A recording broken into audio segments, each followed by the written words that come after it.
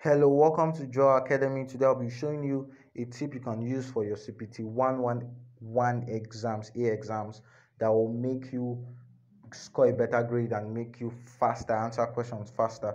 So, in case you are given a binary to convert to a decimal, you can do it within 10 seconds, or converting a decimal to a binary, or multiplying between binaries. You can do it within split seconds. So, stay tuned to this video to learn this trick.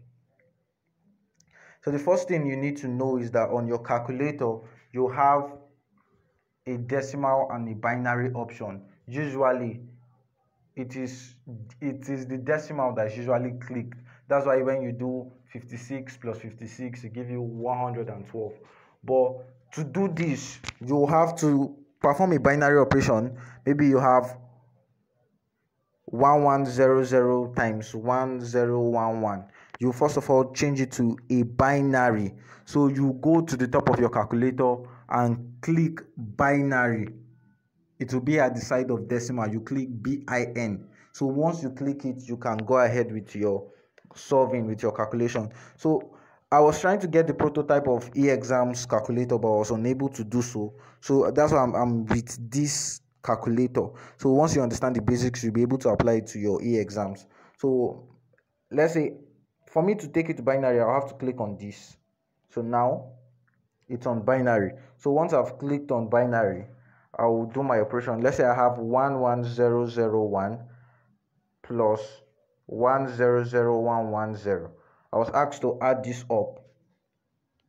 And my answer will come naturally like this. So as fast as possible i've just solved a question like this in less than five seconds. Instead of me converting the binary to a decimal then adding up the decimal then converting the decimal back to a binary i've just solved it and within five seconds i've gotten my answer. And suppose we are asked to convert a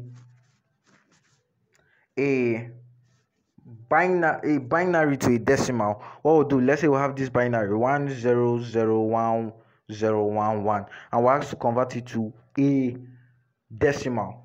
So we'll click on binary write our one zero zero one zero one one and write equal to it gives us this as the answer. Then we go and click on decimal. Once you click on decimal it changes to the decimal form of that binary. So no need of of solving converting the des binary to a decimal. Just with this with this simple trick you can do it within split seconds. And the other way around if we are asked to convert a decimal to a binary you click on decimal. Yes it's on decimal here and then you type your decimal let's say 218 so equal to your answer it gives you 218 so the next thing to do to convert to a binary you press this binary yes this binary here once you click on it it gives you the value of 218 in its binary form. So i i know you learned something new in this video and a lot your a lot of your friends need to see this before their exams.